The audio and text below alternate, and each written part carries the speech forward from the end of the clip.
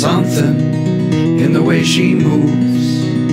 I could lose myself in the grace of it. But sadly, I turned on the news.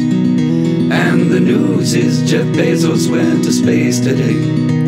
That motherfucker could have paid everyone who ever worked for him a living wage and still been rich enough to buy a rocket ship, but no. So he's an asshole, asshole in space. Some days I thank my lucky stars that I never made enough to buy a rocket ship. Because people, they are what they are. And I probably would have bought myself that rocket ship.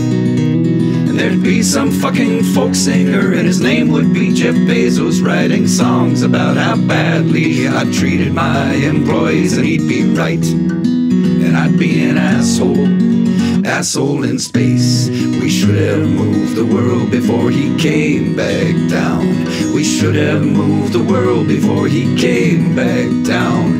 We should have moved the world before he came back down.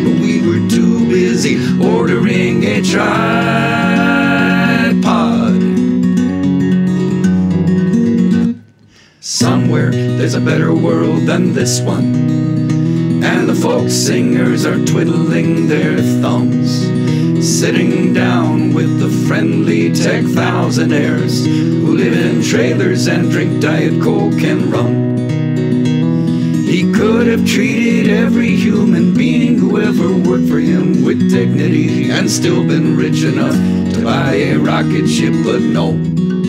So he's an asshole, asshole in space.